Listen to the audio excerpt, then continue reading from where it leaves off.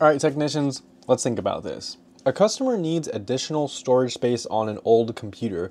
What will you, the technician, look at in the computer to determine if an additional hard drive can be added? So, in my thought, in my head, I need to think about does is there space? And when I say space, I don't mean space inside the computer.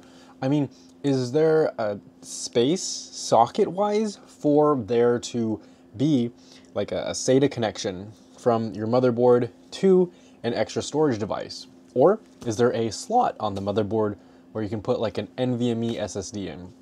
What, what are we gonna do? That's how I would look at that. Are those available? So let's see if that's one of the answers here. Adequate RAM has nothing to do with storage space. Um, PCIe, PCIe expansion slots, that doesn't have anything to do with storage space.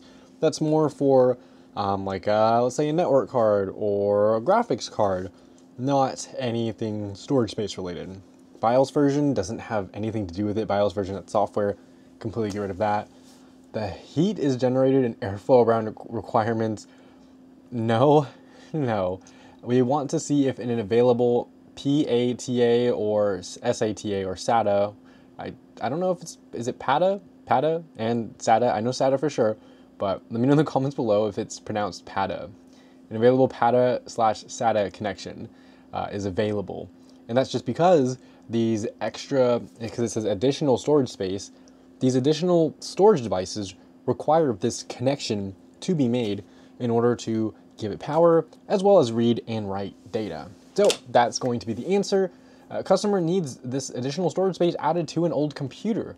As a technician, we need to see if there's an additional PATA or SATA connection. And I've done this in my work quite a bit. You know, consumers uh, or our customers, they want to have more storage. They want to upgrade their storage. So we check to see, hey, can we just throw another drive in there? That's typically the case.